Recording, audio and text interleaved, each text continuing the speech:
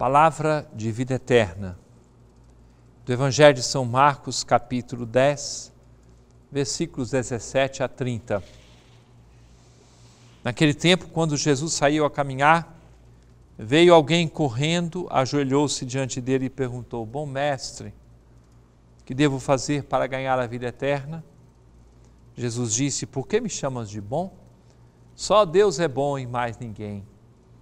Tu conheces os mandamentos: não matarás, não cometerás adultério, não roubarás, não levantarás falso testemunho, não prejudicarás ninguém, honra teu pai e tua mãe.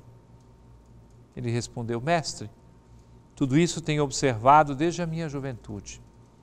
Jesus olhou para ele com amor e disse: Só uma coisa que te falta.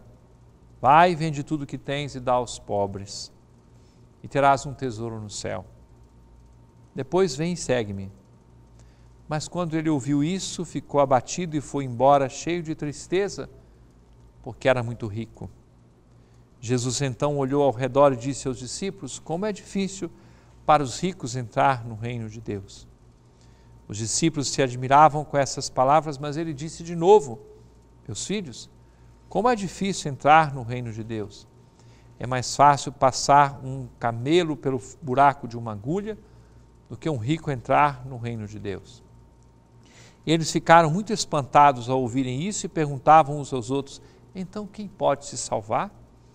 Jesus olhou para eles e disse: Para os homens isso é impossível, mas não para Deus. Para Deus tudo é possível. Pedro então começou a dizer-lhe: Eis que nós deixamos tudo e te seguimos.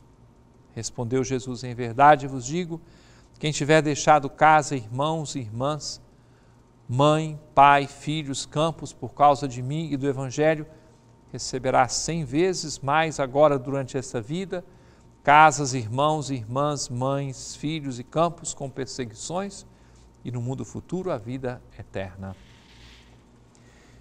Querido irmão, querida irmã, hoje é domingo, dia do Senhor.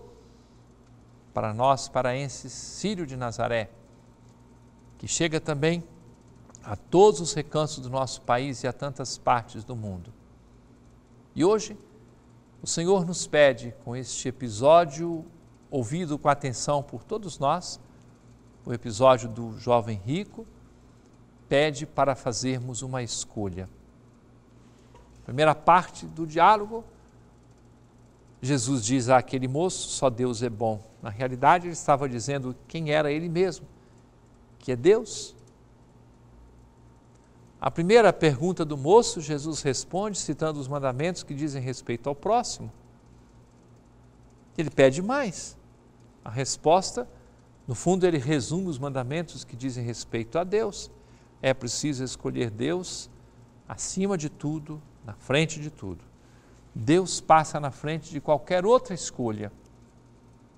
E aí, os bens materiais, os afetos, tudo ganha a dimensão correta desde que nós escolhamos Deus em primeiro lugar e vivamos para servi-lo, para praticar a Sua palavra.